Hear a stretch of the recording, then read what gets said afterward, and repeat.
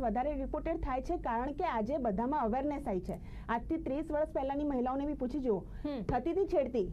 ઘણું બધું થતું હતું પણ એમનામાં હિંમત જ નહોતી કે રિપોર્ટ કરી શકે કોઈને કહી જી. જો કહેવા જાય તો એવું કે તું જ ખરાબ હઈશ. તારામાં જ. ક્યાંક આપ માનો છો કે આ- આ રીતની જાગૃતિ આવી છે? એટલા માટે કેસ વધારે નોંધાવા લાગ્યા છે.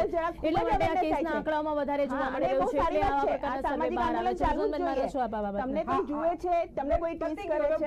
જી જી જી સાચી વાત છે. I should rather thank the media કારણ કે જે પહેલા થતું હતું કે કોઈ બેન બહાર બોલતી હતી તો સમાજ એને સપોર્ટ ન કરે. ઘરવાળા ચૂપ બેસાડી દે નવડાવી દે કે આપણું નામ બગડશે. પણ થેન્ક્સ ટુ મીડિયા કે એ લોકોએ જે કહ્યું કે ના ખોટું નથી આ આ વિક્ટિમ નથી આ તો સર્વાઈવર છે ને પેલા જેને ગુનો કર્યો છે એ ખોટું છે. એટલે એ જ્યારે પોઝિટિવ ઇમેજ ફરતી થઈ કે ભાઈ આ બોલો લોકોએ બોલવું જોઈએ એટલે ઓબ્વિયસલી કેસીસ વધારે આવવાના ચાલુ થયા અને આવવા જોઈએ.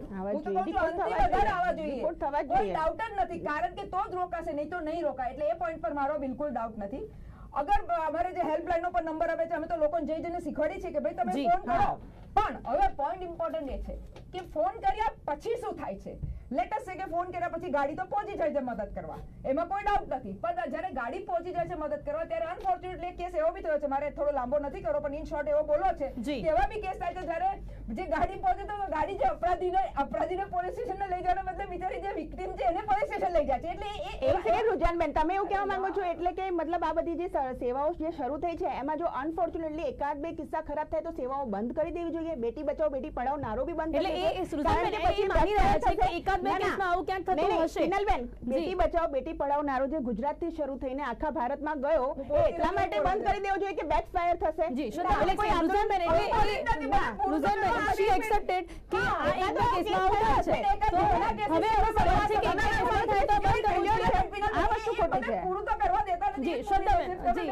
મેં તમને પૂરું કરવા દઉં છું ને એકે વાર બોલો, જી, જી, રુઝાનબેન. તમારે સરખું બોલું છું, તમે ચૂપ બેસો છો. અને જ્યારે સત્ય બહાર કાઢું છું, see, let ના, it be fair. સત્ય તમે બહાર કાઢો, પૂરું સત્ય બહાર કાઢો. એટલે પૂરું સત્ય બહાર કાઢું એટલે હા. એમાં કે આ બંધ કરો પેલું બંધ કરો બેન બેટી બચાવો, જી, બેટી જી, જી, રુઝાનબેન, સૌથી વધારે- આગળ વધારીશું, એક જી. બેટી બચાવો બેટી બચાવો સૌથી વધારે આપણે અમદાવાદમાં જરૂર છે કારણ કે કંઈક સાડા આઠસો નું આપણી પાસે ફિગર છે એટલે આપણને શરમ આવી જોઈએ અમદાવાદની અર્બન ભણેલી પબ્લિક public 800 નો ratio બોલ તો ભારતનો હવે 900 નો થઈ ગયો છે. ક્યાંક ને તમે- ક્યાંક વિનોદ, અમને see, જે બેન, છે- I think we should- we should have some decorum. We should respect this, studio and see કે આપણા દર્શકો બી confuse ના થઈ જાય કે ભાઈ કોણ બોલી રહ્યું જી છે. રુઝાનબેન હવે હવે મને હવે બોલવા તમે સમય પછી ઓછો પડશે. આપ જણાવી શકો છો. જી. હું- હું એમ બોલવા માંગુ છું ક્યારની બેઠા બેઠા કે આ બધી હેલ્પલાઇન છે ને આ બધી સેવાઓ અપાઈ રહી છે. અનફોર્ચ્યુનેટ વાત એટલા માટે મેં કરી કે તાકી જ્યાં જ્યાં છેડા છે અલ્ટિમેટલી આપણે બધા માથે ટોપલો નથી પહેરવાનો આપણે જ્યાં છેડાઓ છે લૂપહોલ્સ છે એને સુધારવાના છે. એટલે લેટસ કે અત્યારે કોઈક સાહેબો સમજે છે તો એ લોકો ખબર પડે કે ભાઈ આવું થાય છે તો એને સુધારવાની કોશિશ કરે. ને એક બે એક બે થતું ને તો હવે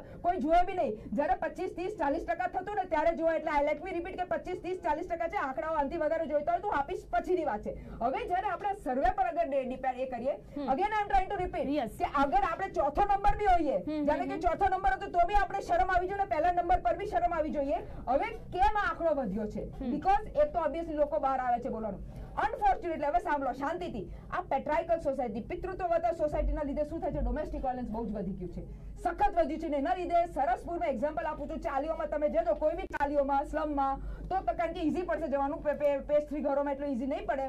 તો હરેક ઘરમાં ડોમેસ્ટિક વાયલન્સ છે. હવે શું થયું છે કે ડોમેસ્ટિક વાયલન્સના જે આંકડાઓ દિવસે દિવસે એટલે નથી વધતા ઓન ચોપડા કારણ કે એ લોકો કમ્પ્લેન કરવા નથી જતા. પણ અમારા જેવા લોકો અમારા જેવા એનજીઓ બોલો યા તમારા જેવા જર્નલિસ્ટ બોલો યા જે એકેડેમિશિયન્સ એ બધું જોઈ રહ્યા છે. અને જ્યારે જોઈ રહ્યા છે એટલે એ લોકોને ખબર છે કે આ વધી રહ્યું છે ને એટલે આ સેક્સ્યુઅલ વાયલન્સમાં આવી ગયું છે. એટલે આપણે એવું નહીં વિચારીએ. આપણે એવું નહીં વિચારીએ કે હા ઇન્ડિયામાં રેપ એટલા નથી. રેપ પર વાત જ નથી થતી.